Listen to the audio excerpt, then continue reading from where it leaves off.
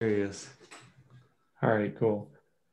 So um, the last thing we kind of talk about how how to present the work. Is this something we want to talk about now, or as we move through the work and see what it looks like? I think it's something that would emerge as we move through the reflection process. So, I mean, one of the things that I was thinking about, and, and so I just said, let's wait. And then I say, here, I have an idea. Um, one of the things, have you seen um, the work that Emma Irwin has done on her, I think I want to call them scorecards or they're just, they're small um, activities that you can do. And it says things like, this is a 10 minute activity. Here are the things that you can do to reflect on DNI. I'll try to find them, but maybe something that's you know, really tractable and approachable for other other communities that may want to do something similar.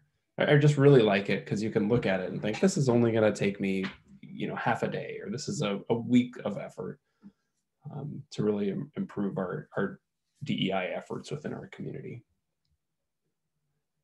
I'll try to find those real quickly.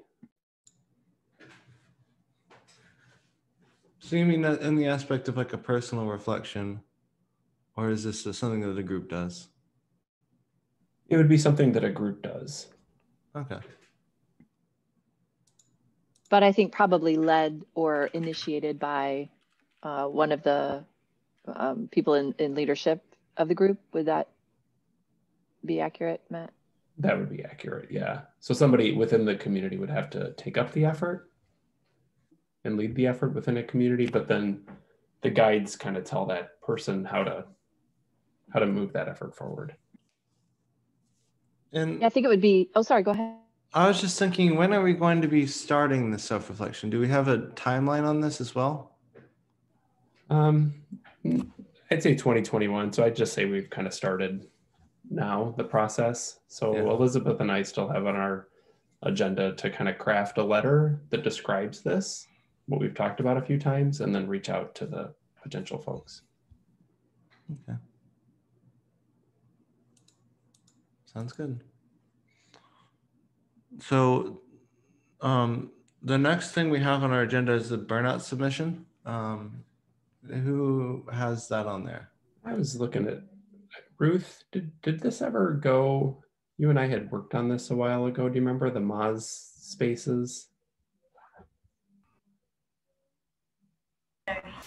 Yeah, I was supposed to like give feedback on that, but um, I have been away. I think I've had my own share of burnouts. so um, yeah, it uh, it didn't work out. Uh, I think it was um, I got the mail that was uh, two weeks ago. Yeah, it wasn't it wasn't accepted. Yeah. Okay. Thanks for the thanks for the info. I'm sorry it wasn't accepted. Should have been. So um, I think I have something. Um, um, so first, I, I think I said it in the other meeting, but I just like want to repeat it here. So the last submission we had for the badging project was really that last badge we gave up rather for that DP DPK.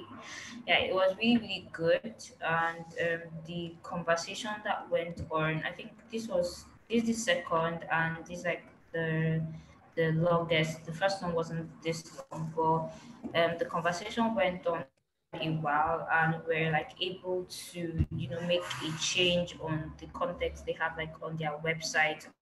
If the if the um, conferences um, accepts diverse and inclusive participation, I know um, Matt um, emailed me on Matt G emailed me on that, yeah, and um, Rachel really like made a very good change, which you know made me feel um, we are really doing so much with this badging project, and it's actually um, on on a long run, it's going to like help uh, so many people that are left out, right?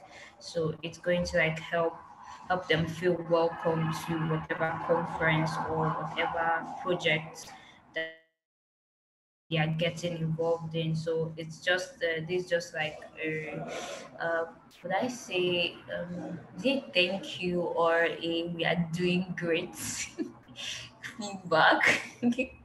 but it's it's really good, and I hope the project keeps like improving um, more. Uh, more and more.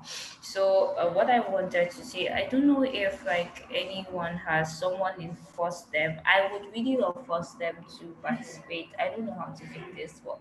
I know I would really love them to participate in this Badging project. I don't know if we could like anyone has um reach out to the organizing team, something like a personal reach out to the organizing team, maybe to join Because I think we, we, we've tried um, sending a mail, maybe due to busy schedule or the time in which we sent the reach out um, to, they couldn't look at it. Or it would really be great if first them could participate. So I don't know if anyone has like someone organizing team.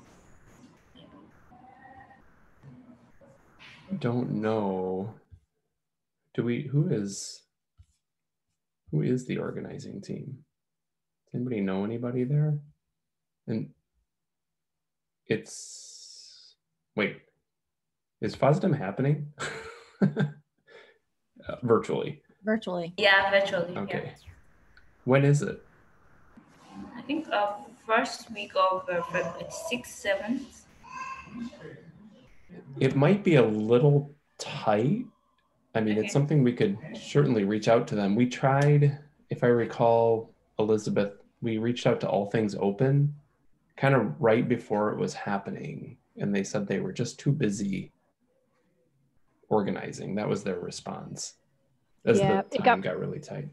Yeah, Yeah, it got forwarded around and then, yeah, they were kind of ghosted a little because they were just too busy. So yeah, I think with FOSDEM being next week, um, I think it's unlikely that we'd be able to get any of their attention because they're also using a new kind of DIY uh, virtual platform for it. I would be surprised if anyone has time to talk to us. We could try, but I think given that it's next weekend, Yeah, we could actually maybe um do it. Uh, we should uh, we could actually do a personal reach out with other conferences. I think it, it works faster. so in with other conferences, we could like do a personal reach out just in case we like anyone knows or somebody in the organizing team like that. We could do that for like other conferences. Yep. So those are points really well taken. Um, we have been talking, we should probably reach out to Angela again at the Linux Foundation just to to coordinate because she has expressed interest in 2020 and with the intention of kind of reconnecting in 2021. Um, we've also been talking to Solona at IEEE, and they have a maybe a million conferences that IEEE runs, but she's bringing the badging program in front of um, that conference, kind of this, the conference committee. There's a group, it sounds like at IEEE that is in charge of conferences um, or kind of monitors all conferences. Um, so we've been doing that. It, it freaks me out a little bit simply because of the potential volume of requests that could happen. I mean, the, the Linux Foundation alone has I had 100, 200 conferences. I mean, it's so many. And IEEE is the same. And so I think we really need to think about if it comes to it, what would happen if, you know, 10 conferences applied in in a two week period? That would be a, quite a bit of work um, just because it's such a to your point earlier ruth it's a it's an awesome developmental process where there's a this um, kind of high contact between the reviewers like yourself and the applicants to try to really improve uh, dni efforts in the conference which is awesome but it, it just takes time um, and so I don't know if people have thoughts on this or share my concern, or maybe we'll just worry about that when it happens.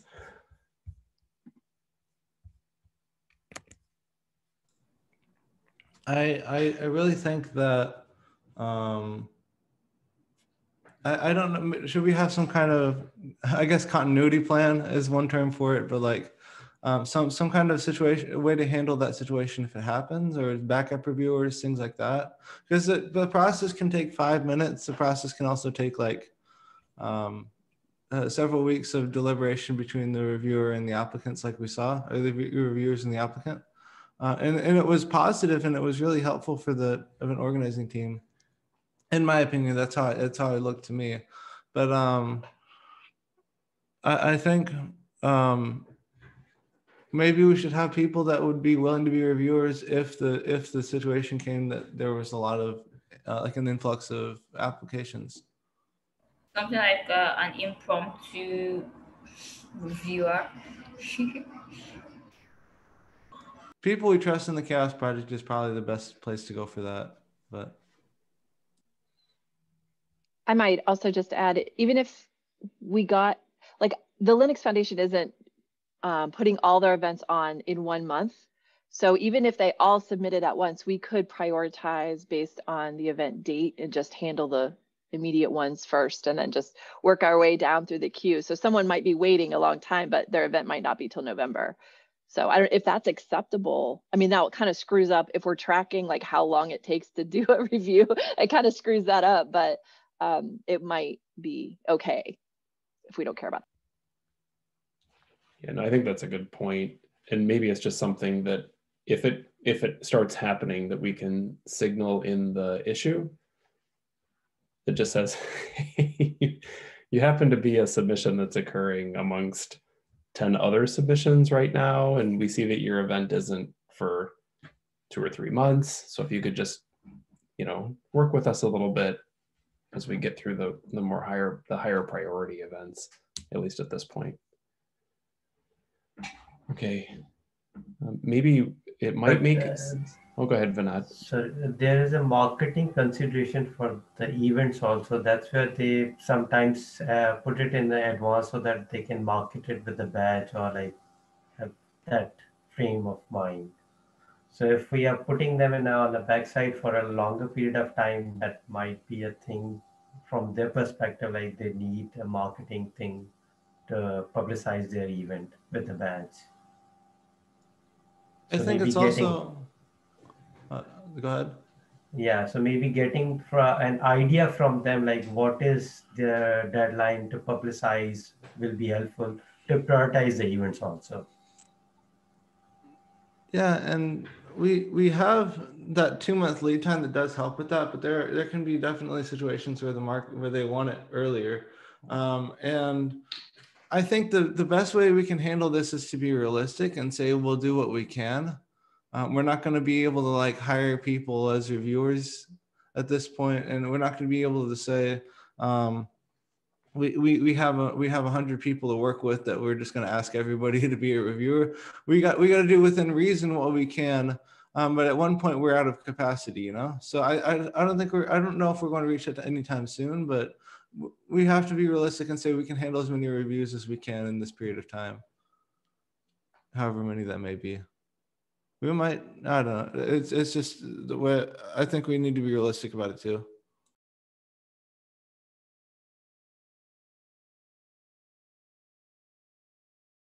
Well, and I am also still facilitator for this meeting. I think we only have one thing left. I was um, gonna, I was gonna say one thing. Is it worth? I'm thinking Elizabeth to put a call out, even just like in the newsletter. You know how you have the volunteer opportunities. That this would be maybe a good candidate for that. Um, yeah, I absolutely can. And um, Matt Snell, I can work with you to uh, kind of just define that a little, uh, a little more, like exactly what we want. Does that make sense? Yeah, it makes sense to me.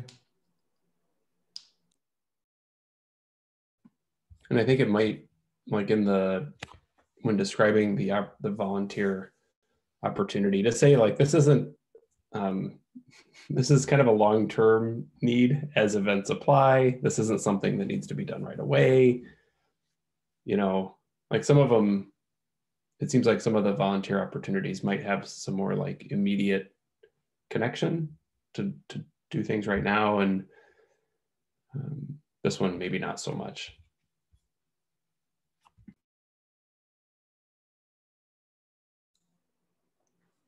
Got it. I, I would like to kind of return just real quickly to Don's point about DEI.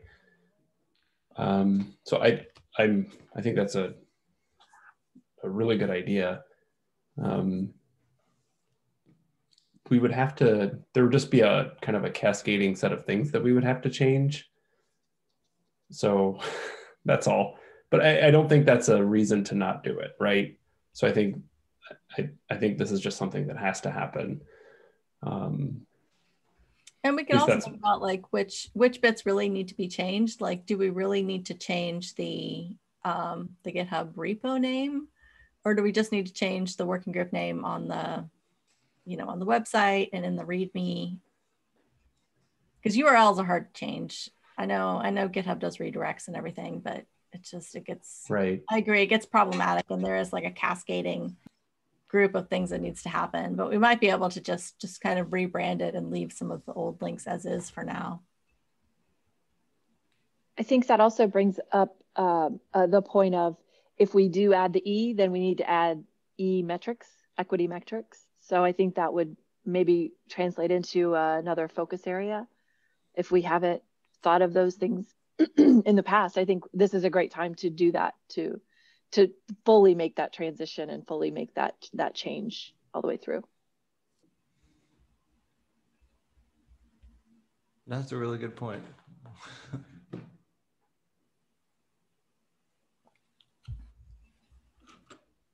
so I like that. So what I'll do is I'll um, take a look at the website because I think it makes sense. The, the kind of the very forward facing things, the end of the line things and just see what can be what needs to be changed there. Yeah, maybe just start there and see how that goes. And then um, obviously the minutes are pretty easy to change. It seems like it's that middle spot of the github repo space that might be a little bit more complicated and maybe to don's point it doesn't really matter. At least in, the, in those workspaces it's more about the forward facing stuff. All right Okay.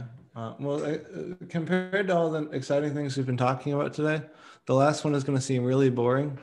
I just meant, I just noticed that um, there's every time I find a agenda link in the uh, this is just for housekeeping, but I found a agenda link in the repo and I found the agenda link in the calendar invite. They're all dead. I think we need to go through while we do DEI changes. Um, just look for dead links too, because I found other dead links, but I don't remember where they are. so that I think that's just something that has to happen every once in a while anyway. Um, could could you be where is this? What is uh, this? Uh, the one I last found was in the um, calendar invite to the meeting. I clicked the agenda and meeting minutes link and it did not go anywhere. It went to a 404 on Google. But I, I mean, I found it. I found dead links occasionally in other places. Uh, maybe we need to do a sweep every every metrics release or something. Just click all the links, open all the. Which pages. agenda didn't work? The D DNI working group meeting. Yeah. Agenda that works for me. The Bitly. Oh, uh, I think I mean I think I might need to change on here. This is the this is the badging specific one. Uh, from the, if you don't want to get the CHAOSS calendar, but you want a, a, an invite one. Oh, I was in the wrong invite. Sorry. That also works for me. Oh, I don't know. I don't know. I get an I get a uh, I get actually a plain text HTML page that says not found 404. So I'm not sure what's what's going on. I'll have to figure out what's going on. Okay, Mike, that's fair. I mean, a quick sweep on the few things that I looked at. All they were all going to the right agenda. Huh. Okay sorry about that. Maybe my point is a little moot here. Um, well, and if, if they aren't, um, I can change them pretty quickly. So just send me an email because I'm one of the owners of the calendar. Yeah. Okay. I, what I meant was that I we created a badging uh, chaos.badging at gmail.com invite just for the people who go to badging but don't have all the CHAOSS calendar in, in their in their calendar. Okay. So it was actually just a, it's a, it's kind of a, a one-off event creation, but we'll, we'll, I'll fix that on our side. Okay, okay. Yeah. Um, so other than that, do we have anything else we want to talk about during this meeting? It looks like we have about 13 minutes left if we want to have that time. Um, we, we don't have to do it now, but I'm going to share my screen really fast. Like in terms of, I think maybe in 2021 we should start taking a look at at metrics development in in DNI. So we've spent a few of the meetings in the past working through issues and pull requests. Um, and so here's kind of the current state of affairs in, in DNI. it might, um, we've been kind of, we got kind of bogged down in this documentation stuff. And uh, so maybe we could move off of that and start looking somewhere else and think about diversity, equity, and inclusion with a maybe a different set of, of metrics that are inspiring in the sense that we're not continuing to look at them and, and go in circles. So uh, is there anything, I, part of me is like, is there anything here that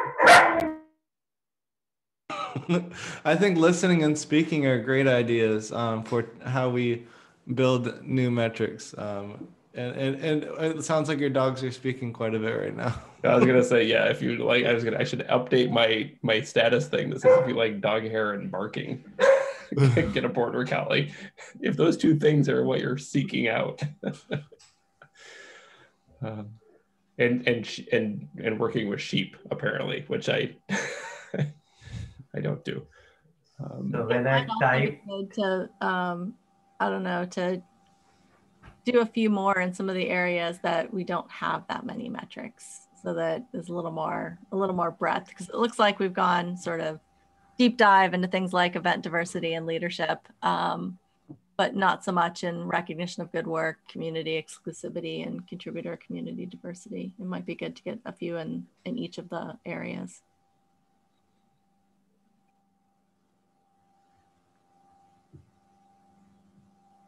We need to bring the Augur team in for contributor community diversity and make Augur metrics for it.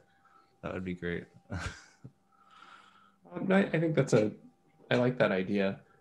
Um, is there any, um, listening and speaking, do we have any documents for those? I feel like we should, like we, you know, some Google Docs, you know, we kind of rough out some of the metrics originally. I don't know if they've ever been started myself. Okay.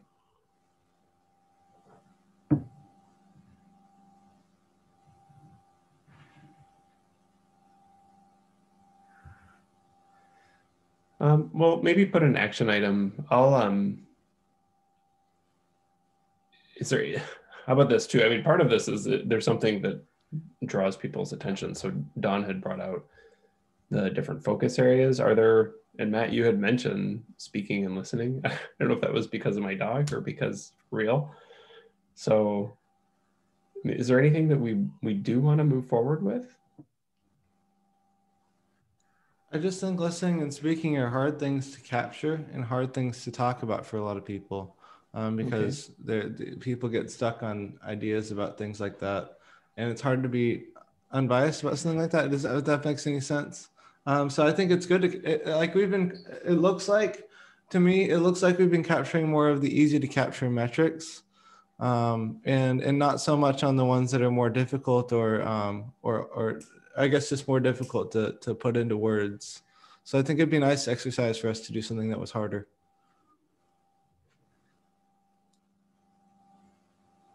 So are you leading us here? That's just my opinion, but yeah. but I see them in progress and we don't see any document or anything for both of these. No, I know. That's So- why I was asking. Well, maybe now they're in progress. Maybe now that we're moving towards thinking about them, we can consider them in progress. So I have one logistic question. Actually, I think I with- found, I think I found one of them. Okay. Ah. I'll drop it in the chat. Yeah. You can confirm that that's the one we're talking about. Uh, I have a one logistic question with Elizabeth. Like, since you have created CHAOSS uh, Google account, and so far right now, what we are doing for any metric, anyone creates a Google Doc and just keeps a link and shares it to everyone. So, is it better if we uh, now create all the Google Docs within the CHAOSS account and like put it there? Yeah, I mean, whatever's easiest, whatever makes sense. So if we want to do that, that's totally fine. We can make a new folder for um, metric development. I, I- that's also something we could bring up at the community call Yeah. on Tuesday, just to see what the other working groups would like to do. That's a great idea, though, Vinod. Yeah. So that has to be it, Don. I mean, it's the same focus area, it's the same name. So I put it in the, the spreadsheet. And so for next week, how about I'll, I'll take an action item to kind of start just looking at this metric, you know, so it can be presentable a little bit more to the group. Sounds good. Okay. I think I also found one for speaking, but it's it's a markdown page and it's very much a stub. It doesn't actually have any information really in it. But I think that might be Gotcha. Yeah. oh, I I guess I created that page. You don't Only the remember? last commit. How do you not remember that? yeah. Don, I don't remember anything ever, so don't feel bad. Which one was this? This was speaking. Yeah. Oh, okay. All right. Well, I both of them are released in the spreadsheet, so we have like something to Yeah. at least start going off of. Okay, cool. And then I thought maybe just for the agenda next week too, we could spend a little bit of time going through any of the open issues and pull requests. It's always great to kind of keep that reined in. Yeah, we also have a lot of great metric ideas on the issues and pull requests that we could turn into metrics. We do. Yeah. Right. And maybe There are Oh, sorry. 22 open issues. So I think an issue scrub is probably where I think we're due. Yeah, I think so too. A number of them. So we had this talk last week. A number of them are are um, labeled as like metric idea, Mhm.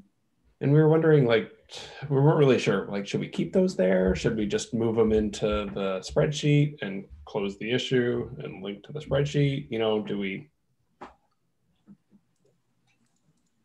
We can get them out of the issues pretty easily. But then if somebody started working at work on it, they would just create another issue and link a Google Doc. So Yeah, I we can we can leave it there. I mean it's okay to have a bunch of open issues that are valid open issues. That's not a big deal. But I think we should at least scrub through it and make sure that there aren't any that we can just that are done that we can close. Right on.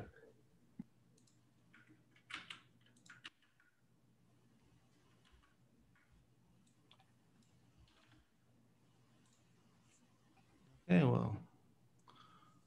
Would think- anybody like to take an action item to maybe do a quick scan of the issues before the next meeting to see if there are a few that might be candidates for discussion?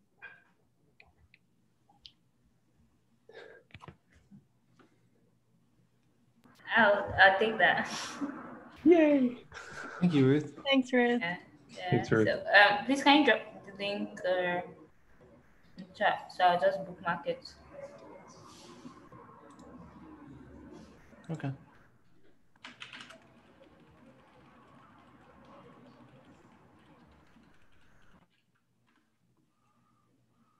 Well, thank you, everybody. It looks like we'll get about four minutes back on our, on our, um, on our hour.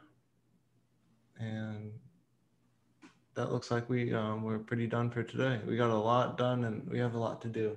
So, All right. Well, thanks, Matt. Thanks, thank you, everybody. everybody. Thanks, Matt. Everybody. Bye, everyone. Bye.